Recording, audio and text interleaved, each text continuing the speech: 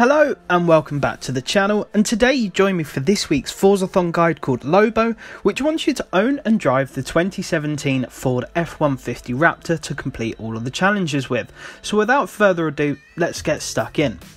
Now this is a car in question, the F-150 Raptor. I'm sure most of you guys own it, it's a very common car. If you don't, it'll only set you back 63 grand, so nice and cheap. I've created a tune for you guys to use, the share code is 982277132. It's called Forzathon and it's available for all of you to use. Now, the first challenge here wants you to win any cross country event in your F 150 Raptor, which is super easy. So, I recommend heading over to the Ribera Rocosa Cross Country Race. Um, here, I have created an Event Lab one called Forzathon Easy. The share code is 735 525 425, and that again is available for everyone to use. The good thing about this, this race will take less than two minutes to complete, and I've set it up so there are no AI driver avatars, so you'll win every time, regardless of how fast or slow you want to go. So a nice easy first challenge there.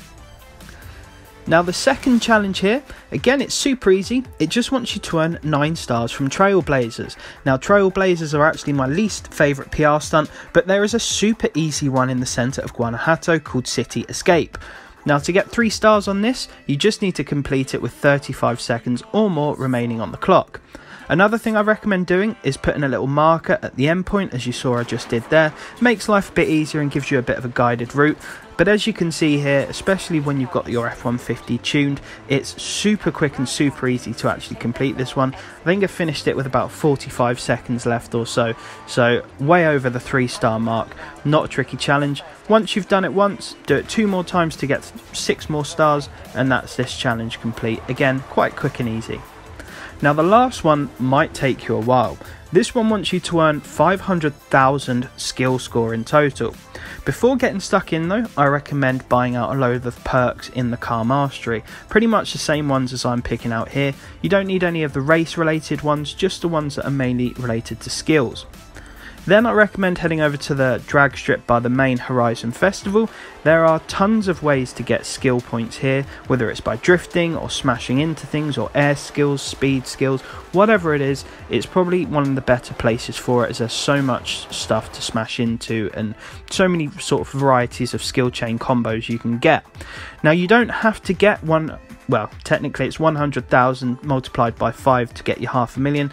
You don't have to get it in one run, as I'm showing you here. You can get it over a course of a few days or a few separate skill chains. Whatever it is, you don't have to get it all up in one. But I recommend doing it in one go, just getting it out the way. Um, also, try and get some sort of skill song if you can. That will make life a bit easier as well. Anyway, folks, I hope this guide did help you out. If you are struggling with anything, of course, please do let me know down below in the comments. I'm more than happy to try my best to help you guys out. Uh, but hopefully this guide did help. If it did, I'd very much appreciate if you could drop a like, and if you're new to the channel, subscribing massively helps me out as well. Also, don't forget to stick around for this week's photo challenge guide. But apart from that, folks, I want to wish you all the best. Make sure you stay safe and take care.